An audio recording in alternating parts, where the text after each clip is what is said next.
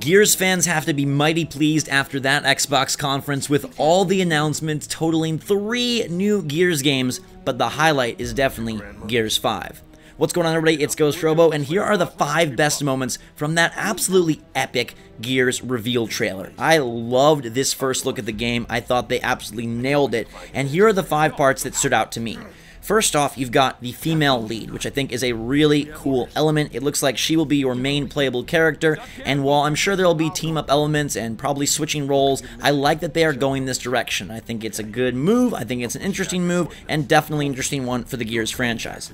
Number two is the melee focus. I really like that huge weapon I don't know how much this will affect the overall game, but that did look like a pretty cool change of pace, and if you are going to be able to gather more and more melee type weaponry, gonna really get up close and personal with those gooey, gross new villains. And number three is that goo. It was swarming around, it was overtaking enemies, and it looks pretty darn sweet. Whatever it is, I'm pretty pumped to fight it and see how it ties into the lore of the Locust and the Gears.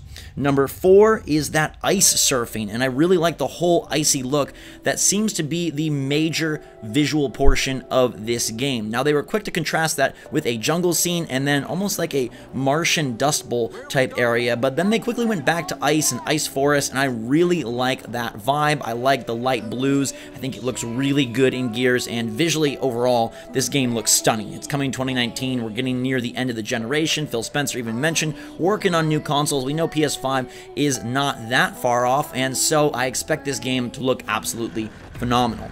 The fifth point is the darker tone. Now, Gears has never been a jolly game, and in fact, it started off being a very brown and dark, dull game, but here it just seems to take a very dark emotional turn, and that's something that was began in Gears 4, but here, given the fact that they think she might even be working with the Locust, what are these Locust symbols, and then she pulls a gun on the cog that came after her, I really like that, and I hope they're able to tap into an emotionality that we've seen from a lot of Sony's exclusive titles as of late and bring that to Gears. I think it'll go a long way in helping Xbox and helping the franchise. So all in all, it was an absolutely fantastic first look at this game. I cannot wait to play it. I'm guessing it'll be releasing late 2019, so we've got quite a ways, but hopefully the wait will be worth it. Let me know your favorite part of the reveal in the comments down below and what you think of my five picks. Until next time, everybody, thanks so much for watching. Hope you're a fantastic start to your E3, and until next time, drink some hot chocolate. I love you, and we'll see you all